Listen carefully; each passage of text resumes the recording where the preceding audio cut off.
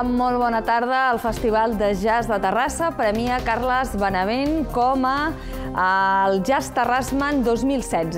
El músic barceloní, considerat un dels millors baixistes de l'escena catalana i del panorama internacional, ha tocat amb mestres com Miles Davis, Chic Corea o Paco de Lucía. Benavent ha agraït el guardó amb un concert a la Nova Jascava acompanyat d'alguns dels músics que l'han acompanyat al llarg d'aquests anys. El Festival de Jazz, però, ha viscut moments eh, aquest cap de setmana importants, com els dos concerts gratuïts que ja s'estan convertint en clàssics del festival, un a la plaça Vella dissabte i el primer que s'ha fet a la plaça Catalunya aquest diumenge. En parlarem, però primer altres notícies al sumari. Unes 400 persones han participat a la cercavila reivindicativa de diumenge contra el tancament de sis línies de P3 al curs vinent. La comunitat educativa de Terrassa ha tancat així una setmana de protestes.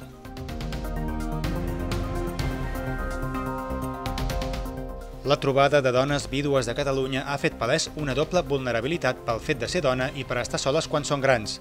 El consistori s'ha sumat a les reivindicacions del col·lectiu en l'àmbit de les pensions. Sarai Gascon ha rebut el Premi a millor esportista 2015. La temporada passada es va proclamar campiona del món en 50 metres lliures i subcampiona en 100 metres papallona al Mundial de Natació Adaptada.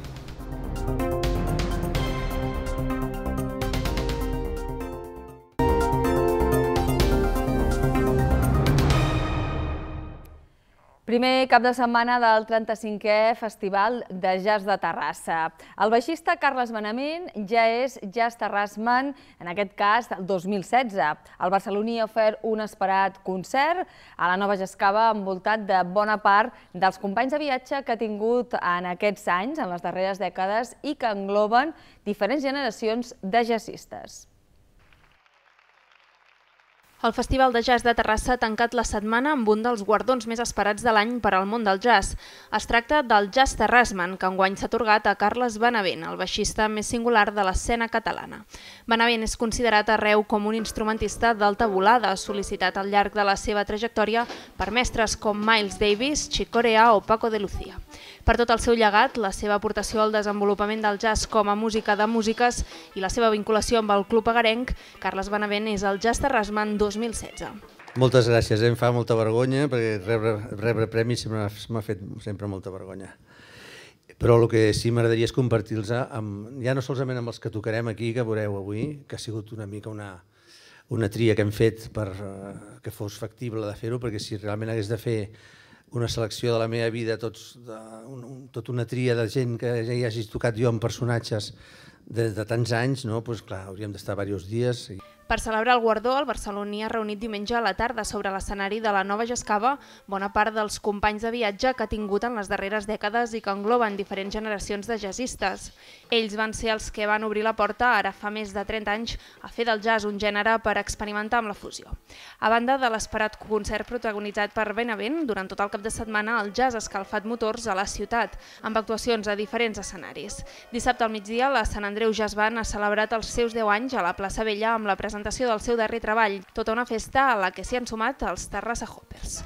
Dissabte a la nit, l'escenari s'ha traslladat a la nova Jascava amb una doble actuació. D'una banda, Jorge Pardo i Sylvain Luc, dos músics que s'han trobat per compartir escenari per primera vegada. I de l'altra, el quintet Five in Orbit, una proposta original encapçalada pel barceloní Ramon Fossati. Canvien de tema, la comunitat educativa de Terrassa ha sortit al carrer per eh, reivindicar i criticar el tancament de línies de P3. A la nostra ciutat eh, s'està previst que es tanquin sis línies pel curs venent. Unes 400 persones han sumat a la convocatòria de diumenge al matí sota el lema Educació més pública que mai. La comunitat educativa de Terrassa ha tancat una setmana reivindicativa per al món de l'educació amb una manifestació contra el tancament de sis línies de P3 per al curs vinent. En total, unes 400 persones s'han sumat a la convocatòria de diumenge al matí. La cercavila reivindicativa ha sortit del Parc dels Catalans i ha continuat pel portal de Sant Roc, carrer Major, plaça Vella i carrer Gavatxons fins a arribar al Raval de Montserrat. Pares, alumnes i mestres, acompanyats de representants polítics locals i del col·lectiu dels iaioflautes, han avançat pels carrers sota el lema Educació més pública que mai. En aquest cas, eh, reivindiquem, a més a més, eh, que estem totalment en contra dels tancaments que s'estan fent, que es tenen previst de fer a la nostra ciutat. Són sis tancaments preventius de línies de P3 en escoles públiques sempre i, i volem mostrar el nostre desacord i, i demanar que això reverteixi, que no sigui així. El Departament d'Ensenyament té previst tancar un nombre elevat d'aules arreu de Catalunya, de les quals sis seran a Terrassa. La comunitat educativa exigeix, doncs, un no rotund a aquesta supressió i, conseqüentment, demana que es baixin a 18 o 20 nens les ràtios d'alumnes per aules i regular així una xifra que ha estat en creixement des dels darrers anys. D'altra banda, veuen incorrecta l'actuació del departament i creuen que s'hauria d'haver consensuat abans amb els governs municipals, des d'on tampoc es veu amb bons ulls aquest procediment. La regidora d'Educació, Rosa Rivera, ha estat molt contundent amb l'anunci de la Generalitat.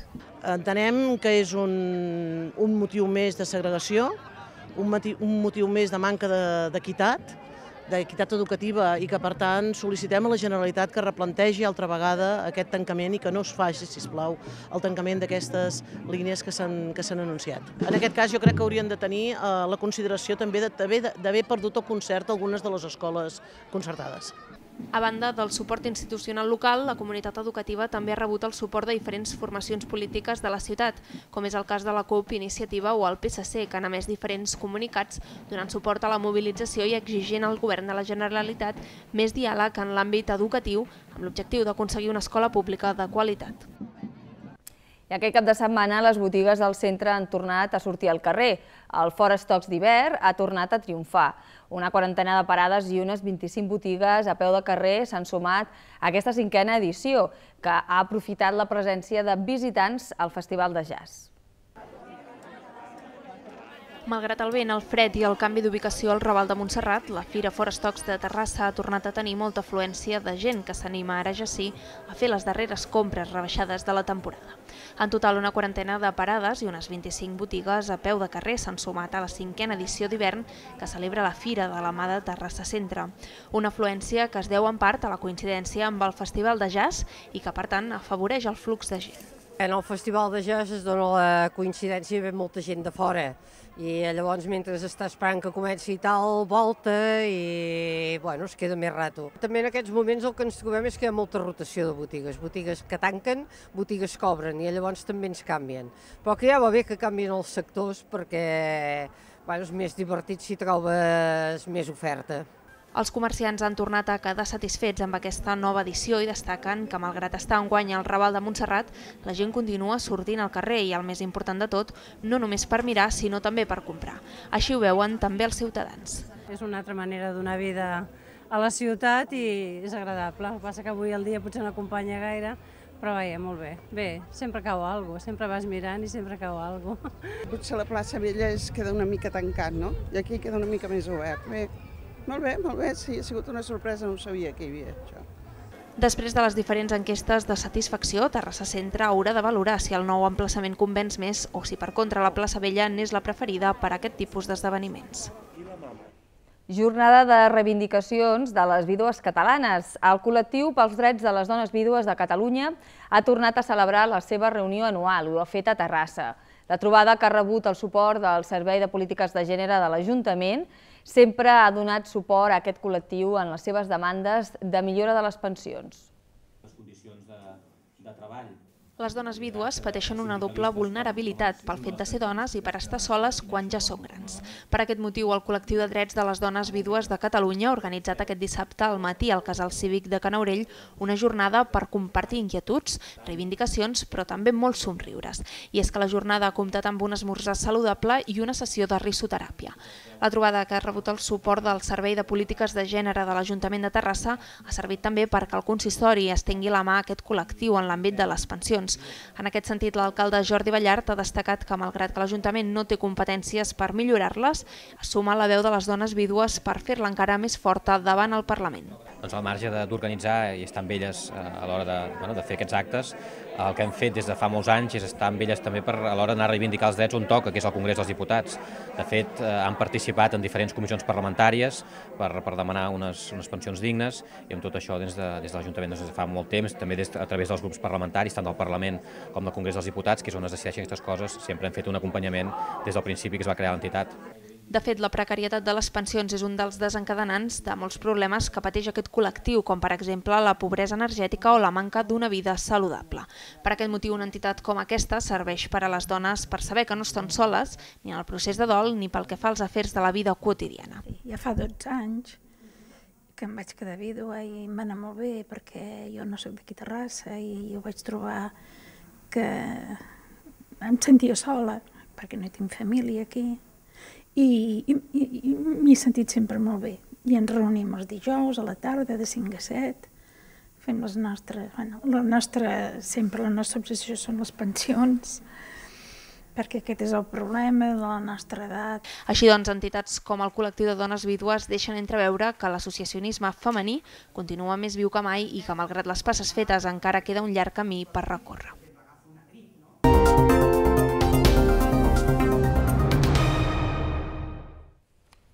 La col brutonera ha tornat a omplir el mercat de la independència. Aquest dissabte s'ha fet una degustació d'aquesta col tradicional que s'està recuperant gràcies a la conservació que n'han fet alguns agricultors petits als seus horts.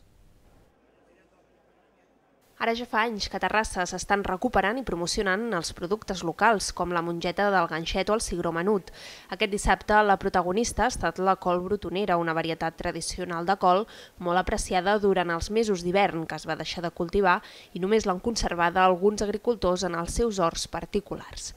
Ara doncs l'objectiu és recuperar aquest cultiu i engrescar la gent perquè aquesta varietat esdevingui un plat més a les nostres cuines un producte que era poc valorat, però que ara, doncs, fa uns quants anys, tota la família de les cols, totes les brassiques, doncs eh, s'ha vist que tenen propietats eh, nutritives i saludables molt interessants, i la, la part que aprofitem a la col brutonera és el brot, és el, el brotó i l'espigalla, eh, que és la flor immadura, que és la part més dolça i més, eh, més tendra de la col.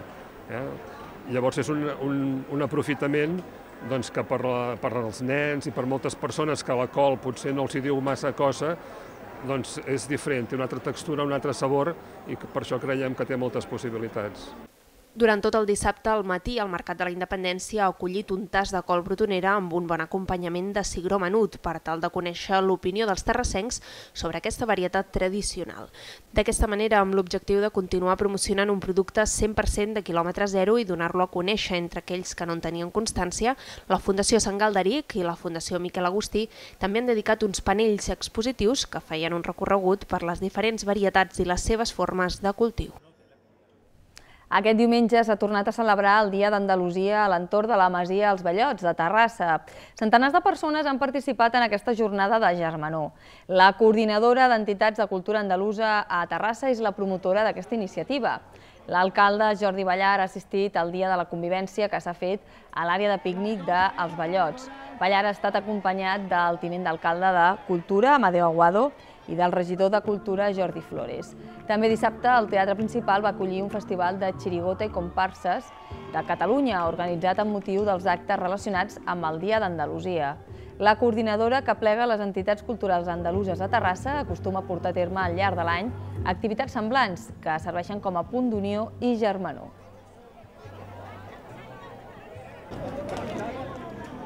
L'Snap Festival ha portat al Centre Cultural la millor dansa urbana nacional i internacional. Ha estat aquest dissabte al matí amb la participació de 689 ballarins procedents de Granada, València, Mallorca, Catalunya, Bèlgica, Itàlia i Londres. Snap Festival és un certamen de danses urbanes al nostre país, un esdeveniment que va néixer per donar cobertura al desenvolupament creatiu del coreògraf, ja que són els màxims protagonistes i tenen llibertat absoluta potenciant així l'originalitat a l'hora de crear les seves peces coreogràfiques. Amb els anys i després de nou edicions, s'ha convertit en l'escenari més desitjat per la majoria, majoria de ballarins.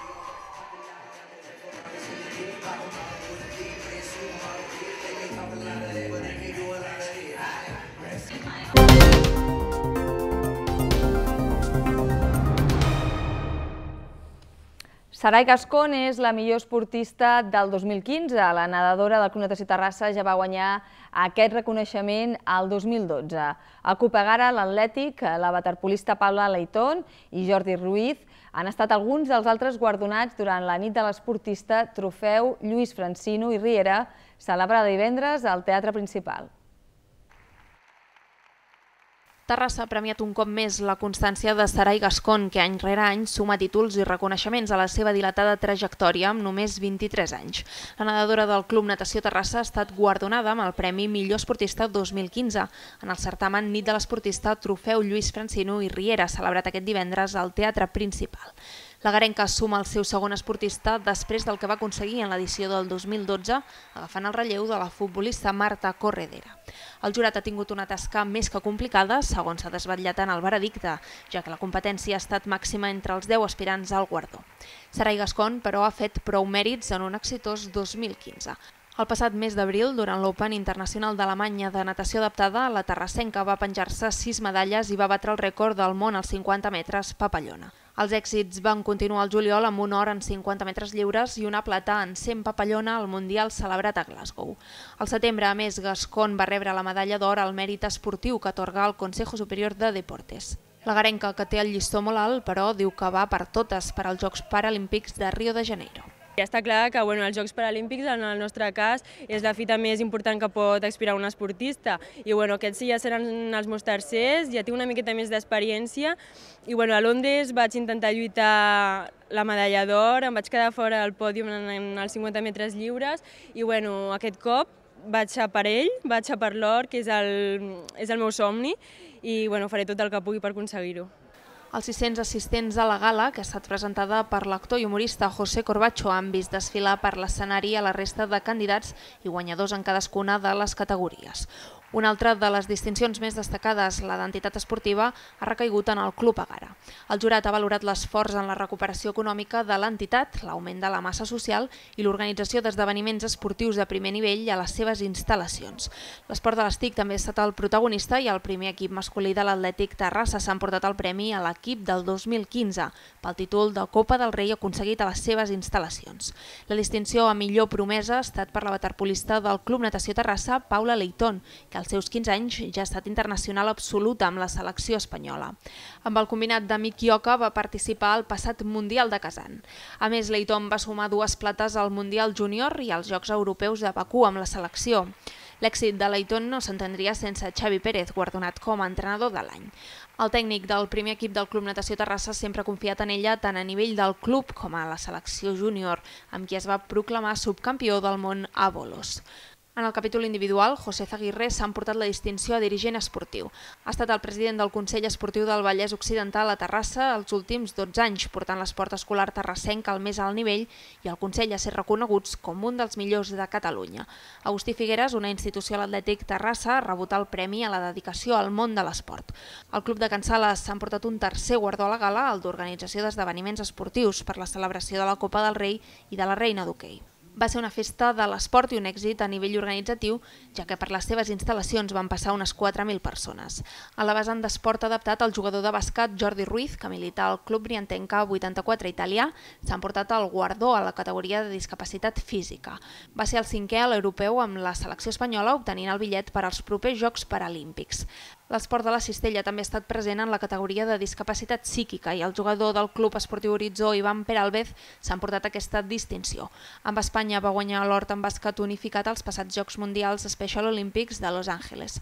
Per la seva banda, l'escola Vedruna, centre amb una gran promoció dels Jocs Esportius Escolars, ha estat reconeguda amb el Premi a la Fita de l'Esport Escolar, mentre que Garçat Prevenció, pel seu conveni per un hoquei més saludable amb els clubs de Terrassa, ha rebut el Premi al suport i col·laboració en el món de l'esport. Aquesta tarda tenim reunida aquí al Teatre Principal la flor innata de l'esport terrassenc. En aquesta sala hi ha la més exigent representació de l'excel·lència esportiva de la nostra ciutat i també del nostre país. Estar entre els millors esportistes a Terrassa significa també estar entre els millors esportistes de Catalunya i del conjunt d'Espanya i en un lloc molt destacat també a escala europea. Perquè ser una capital esportiva i una ciutat olímpica significa exactament això, el certamen Nit de l'Esportista ha volgut retre un homenatge a Santi Freixa, una llegenda de l'hoquei terrassenc que s'ha retirat com a jugador en actiu. També s'ha recordat la figura de tres personalitats del món de l'esport local. Martí Colomer, clau en l'evolució de l'hoquei agarenc, català i espanyol, l'expresident del Terrassa Futbol Club Miquel Caparrós i Josep Parra, exjugador del Terrassa i del Reial Club Deportiu Espanyol, entre d'altres equips que ha mort aquesta setmana als 90 anys. En futbol hem de parlar d'una nova derrota del Terrassa Futbol Club que ha perdut a Vilafranca per 2 a 1. L'estrena de Toni Rodríguez a la banqueta no ha impedit que els egarens ja portin 5 jornades sense sumar 3 punts. El Terrassa Futbol Club ha sumat aquest diumenge la cinquena derrota consecutiva, després de perdre per 2 a 1 al camp del Vilafranca. Així doncs, Toni Rodríguez no ha pogut debutar en victòria a la banqueta garenca. El Terrassa ha ofert una imatge molt diferent als últims partits amb José Luis Duque a la banqueta i ha merescut puntuar contra el segon classificat. De fet, s'ha posat per davant en el marcador a 4 minuts pel descans. Adri Jimeno engalta un fort xut des de fora de l'àrea que sorprèn el porter Miguel Ramos. El Vilafranca ha capgirat el partit en el segon temps. A la sortida d'un córner, Medina ha aprofitat un refús en curt del porter Morales per fer l'empat. El Terrassa s'ha quedat amb 10 per l'expulsió de Xapi Arnau i a 5 minuts pel final el golejador dels vilafranquins, Santi Triguero, ha fet el gol de la victòria amb una gran rematada des de fora de l'àrea. Han lluitat contra tot, Uh, la situació ja sabem quina és i, i l'estat d'ànimic també, però bueno, penso que el treball que han fet els nanos no, jo no em puc marxar descontent, o sigui, n'hi ha coses a millorar, moltes, uh, però, però penso que és això, que l'esforç ha, ha sigut molt pel poc, per la poca recompensa, o, o nula recompensa. No queda més que treballar, queden nou partits i això s'ha de treure sí o sí, com sigui. En temps afegit, els agarencs han pogut fer el gol de l'empat amb un gran cop de cap de Jou, però Estrada, amb el pit, ha desviat la trajectòria de la pilota per sobre del travesser. El Terrassa, 17è a la classificació, ja és només a dos punts dels llocs de descens directe. Diumenge rep el Figueres a l'Olímpic. Doncs aquest mateix matí el Terrassa Futbol Club ha fet públic a través d'un comunicat que Toni Rodríguez serà l'entrenador del primer equip fins que acabi la temporada era una de les opcions que barallava el Consell d'Administració per substituir José Luis Duque, després que divendres no s'arribés a cap acord amb Miquel Olmo ni amb d'altres entrenadors com ara Quim Allats o Antonio Hidalgo. Ara falta per saber qui ocuparà la bancant de Toni Rodríguez al Terrassa Futbol Club 1906, de la primera catalana. Tot apunta que serà de nou Duque, qui s'encarregarà del filial després de dirigir la primera plantilla, tot i que encara no és oficial. Toni Rodríguez va arribar al club el passat mes de gener per fer-se càrrec del Terrassa 1906, quan Duque va ocupar el lloc del destituït David Pirri. Coneix perfectament la casa, ja que va treballar durant 5 anys al futbol base garenc. Les darreres tres temporades va dirigir el filial del Club Esportiu Sabadell, en qui va aconseguir dos ascensos consecutius des de segona catalana fins a la tercera divisió. I en waterpolo masculí, el Connotació Terrassa ha caigut amb el Barceloneta a les semifinals de la Copa del Rei de waterpolo. El conjunt de Dida Covacho ha lluitat de valent i només s'ha vist superat pels mariners en el darrer quart quan ha acabat cedint per 9 a 6. Els de Xus Martín ha acabat revalidant el títol en derrotar el Connotació Sant Andreu a la final per un ajustat 7 a 6. El Club Natació Terrassa ha caigut a les semifinals de la Copa del Rei de Waterpolo, que s'ha disputat fins diumenge a Sabadell, després de perdre per 9 a 6 amb l'Atlètic Barceloneta, que ha revalidat el títol. El conjunt de Dida Kovacho ha ofert una bona imatge en aquesta competició. Divendres, els agarencs derrotaven per un contundent 8 a 15 al Mediterrani, en l'última eliminatòria de quarts de final. Després d'arribar amb 3 a 6 al descans, un parcial 2 a 7 del natació ha acabat sentenciant el partit i l'accés a les semifinals. Dissabte, però, els terrassencs s'han trobat l'Atlètic Barceloneta, que els ha barrat el pas a la final. Tot i això, els de Covacho han fet un gran partit. Els mariners han hagut de treballar de valent per desfer-se d'un natació que ha portat la iniciativa en el marcador fins al descans. Ricard Alarcón i Fran Sánchez han posat per davant el seu equip i les diferències han arribat a ser de dos gols en el segon quart. Danat Galef i un segon gol de Sánchez posaven contra les cordes un Barceloneta incapaç de superar la defensa garenca i el seu porter, Iñaki Aguilar. El serbi Rasovic, però, faria dos gols en el tram final d'aquest període per col·locar l'empat a 5 al descans. A la represa, el quadre garenc s'ha mantingut en el partit, ja que només ha encaixat un gol en el tercer període. Ha estat en l'últim, amb un parcial de sortida de 3 a 0, quan els de Xus Martín han decidit el partit. Sí que és veritat que han fet el partit que nosaltres volíem. Uh, nosaltres hem estat en tot moment centrats, en cap moment hem sortit del partit, perquè moltes vegades quan jugues amb un equip tan fort com el Barceloneta uh, et passa això, no? que, que acabes sortint del partit perquè veus que ells no fluixen en cap moment. O sigui, els és igual que et vagin guanyant de 3, de 4, que vagin per darrere, que et vagin guanyant de 10, que ells continuen sempre apretant a molt. I nosaltres hem continuat allà, no hem deixat que ens marxessin en cap moment. Crec que el bo que hem tingut avui és que ens ho hem cregut, i ens hem cregut fins al final, fins i tot a la part final que recuperem una pilota, tot i així encara continuem sortint al contraatac. Ens ha faltat doncs, els golets de la segona part, d'aquell golet que els haguéssim deixat empats per poder entrar a l'última part amb empats i, bueno, i després aquí sí que aviam, aviam què, què hi havia. A la final, el Barceloneta s'ha trobat amb un Sant Andreu molt lluitador i que li ha posat les coses molt difícils, però un gol d'Albert Espanyol en l'últim minut i mig ha situat el 7 a 6 i ha acabat donant el 12è títol de Copa als mariners.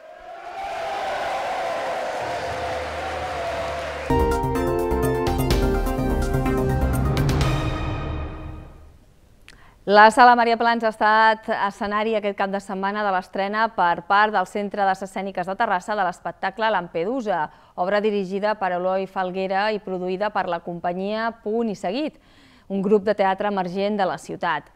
Lampedusa tracta una problemàtica molt present a Europa, la immigració que arriba a través de la Mediterrània, un mar que s'està convertint en tot un cementiri, en aquest cas des de dos punts de vista diferents, el del nadiu i el de l'immigrant tant en Salvatore com jo, hem intentat tornar-nos en si, mullar-nos la cara. El músic madrileny Jorge Pardo ofert aquest dissabte una masterclass al SEM, Escola de Música i Grau Professional. L'activitat s'emmarca dins dels actes del Festival Jazz Terrassa i pretén donar informació de primera mà des de la vivència d'un músic reconegut i de prestigi internacional.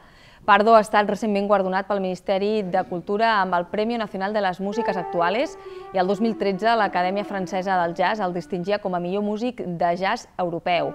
I és que Pardo és un dels músics espanyols amb major projecció gràcies a la gran habilitat en fusionar en un mateix compàs estructures jazzístiques amb d'altres procedents de la tradició musical del flamenc. Todo lo demás va viniendo i també dins del Festival de Jazz de Terrassa i fins al 31 de març es pot visitar a la Galeria Espai Gidart del carrer de la Palla la mostra Expo Jazz 16. Es tracta d'una mostra col·lectiva amb obres de quatre artistes, Salvador Alavedra, Philip Staton, Pol Serra i José Antonio Soria. Els dibuixos i la pintura es donen la mà en les obres d'aquests artistes en aquesta mostra coincidint amb el certamen. Precisament aquest dissabte es feia la inauguració amb un concert a càrrec del duet de Reminders. Amb imatges d'aquesta mostra ens acomiadem. Recordeu que teniu més notícies al terrassadigital.cat i a través de les xarxes socials. Que acabeu de passar una bona tarda. Fins demà, que vagi molt bé.